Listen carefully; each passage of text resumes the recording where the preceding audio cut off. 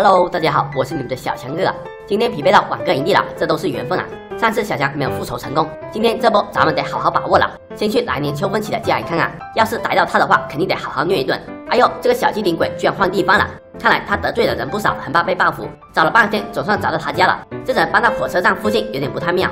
要是被人发现了，肯定会很快来人。现在也不用太担心，至少我还是没暴露的。再说了，凭我的实力单挑一群人，简直就是小 case。这人可能躲进房子里了，咱们进去找一找。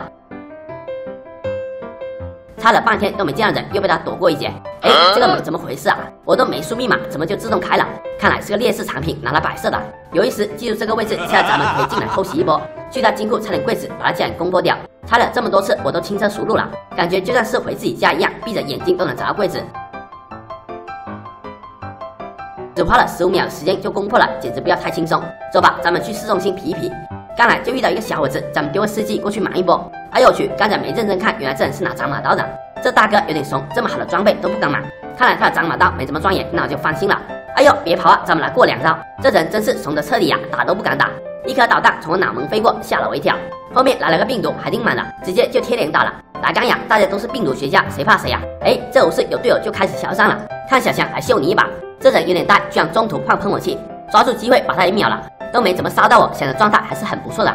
队友倒了还敢上，值得鼓励啊！可惜他没有翻滚技能，根本进不了我的身，最后也是被我活生生耗死了。战绩不错，刚来就拿到双杀。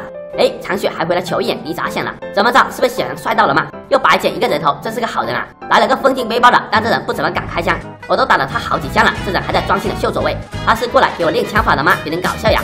OK，没有悬念，想又解决掉一个，怎么一个能打的都没有？那些大佬都去哪了？这病毒学家又回来了，看来是把装备都换好了。这人很鸡贼，一直在高速输出。抬枪口抬得我贼难受，这位置不好刚枪。算了，不和他耗了，咱们先撤退，补点状态。满血复活，小强又回来皮了。这人没发现我，咱们偷袭一波。嘿嘿，两分解决，护甲有点菜呀。我还以为是刚刚那个病毒呢，有点小遗憾。这里还有个发呆的，把他也灭了。当着我的面叫人，太不把我放在眼里了吧？哎呦我去，无人机的火力有点猛，咱们先放过他，找机会再反打一波。这营地人穷追不舍，甩都甩不掉，不跑了，咱们拼一把。人死鸟朝天，不死万万年。小强还就不怂你们了。